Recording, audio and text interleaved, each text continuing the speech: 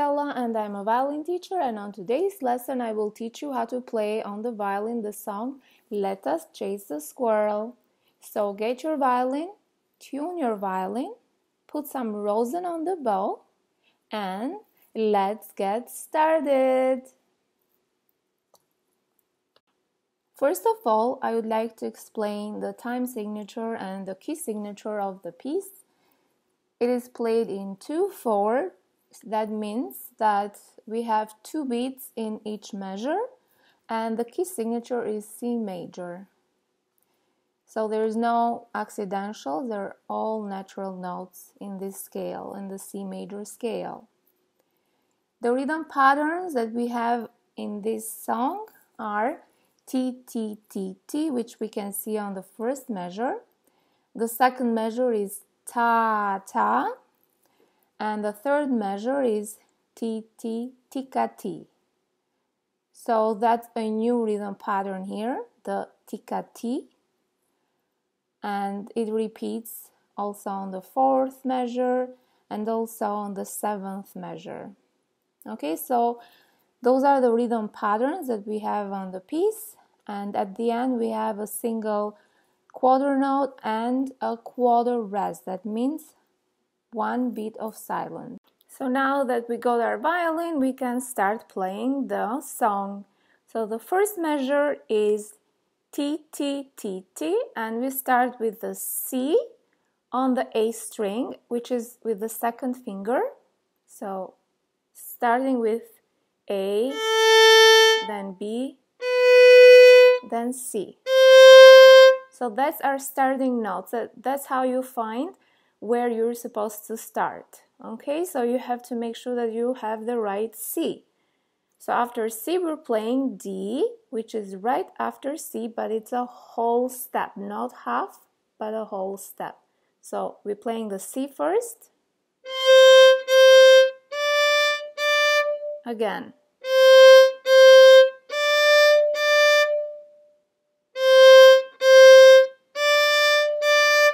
So it's C, C, D, D.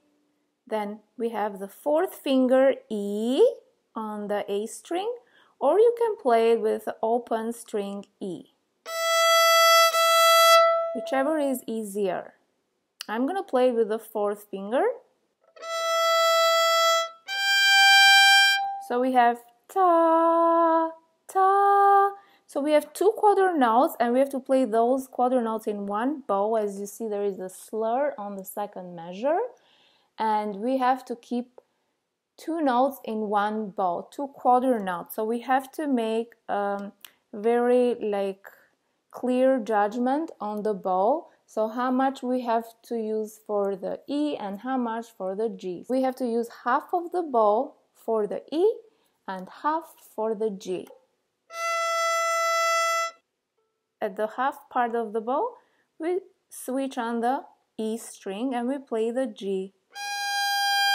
So again,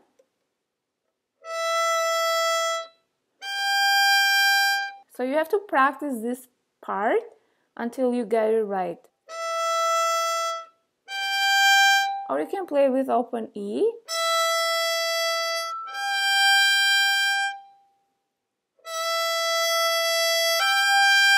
and then after you practice with stopping then you have to practice without stopping. So basically you have to look at the bow and see when the bow arrives at the middle you have to play the G. So you have to look at the bow while you're playing okay? So one more time This is easier for beginners, but for advanced students, you, can play with the fourth finger. And this is legato, so you have to play with no stopping. But in the beginning, when you practice, you can play with stopping until you get the notes right. Then you can move on to like playing it without stopping. So I'm going to recap again. First measure and second measure. So we start with the C, and we are starting at the bottom then E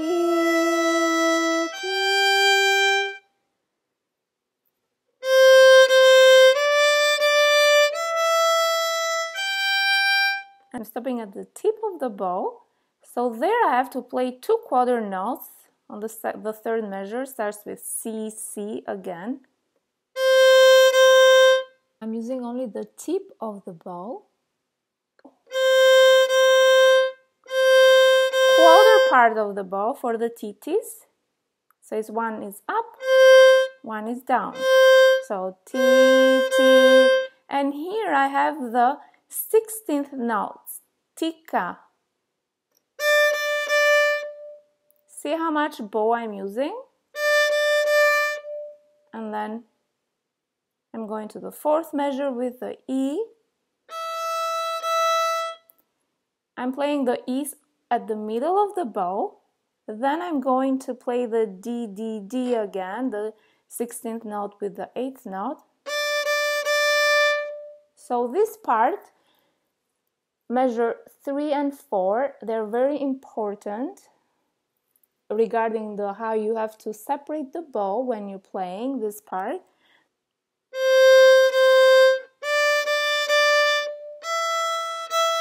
And then on the fourth measure, the E's are at the middle of the bow, the titis and the tikas. And the T brings us back at the tip of the bow. Okay, so again, measure 3 and 4 together.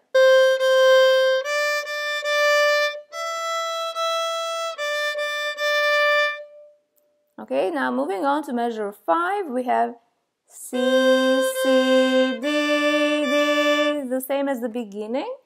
Measure first and second, they're the same as measure 5 and 6.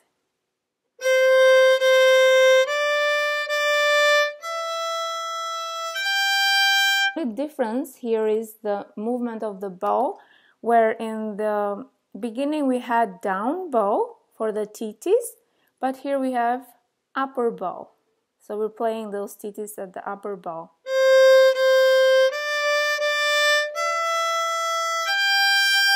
And then measure 7.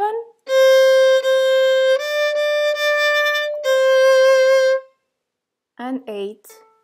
So measure 8 was only the C followed by a rest.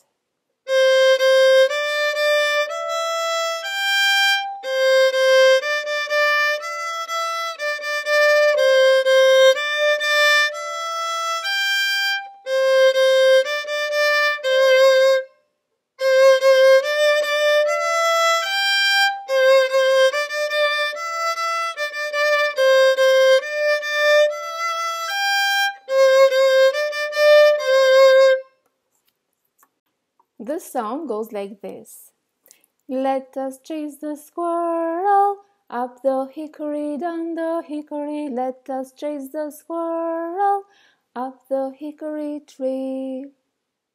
And for this game, you have to make a circle and choose two people. One to be inside the circle, which is going to be the hunter, and one child has to be outside the circle, walking while the song is sang around the circle, and the hunter is standing inside the circle. At the end of the song, the hunter breaks out of the circle and tries to tag and catch the squirrel. You can also sing the song and play the drum at the same time. So this is a tambourine actually that I have. So you can play it like with your hand or you can play with the stick, which I prefer playing it with the stick.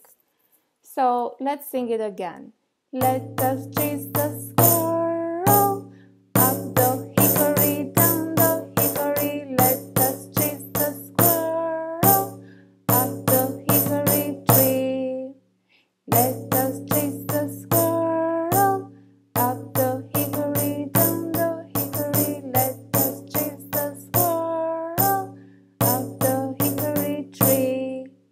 And if you want, you can speed it up gradually to make it more fun. So you can also play the rhythm on the drum and you can use the song playing the rhythm. which goes like this. Let us chase the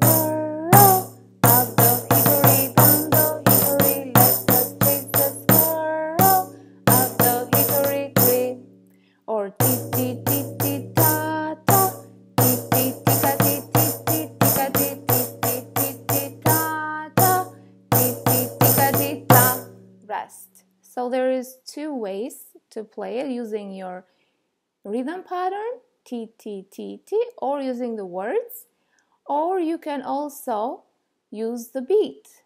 Ta ta ta ta which is one two one two. Let us chase the squirrel up the hickory down the hickory. Let us chase the squirrel up the hickory tree. Rest let us chase the squirrel up the hickory, down the hickory, let us chase the squirrel. Up the hickory tree, rest. Okay, so have fun if you have a drum. If you don't, make your own drum. Okay, thank you for watching. I hope this was helpful. Here we are at the end of another lesson. I hope this was helpful and you enjoyed it. Thank you for sharing, liking, and subscribing to my channel. I really appreciate it.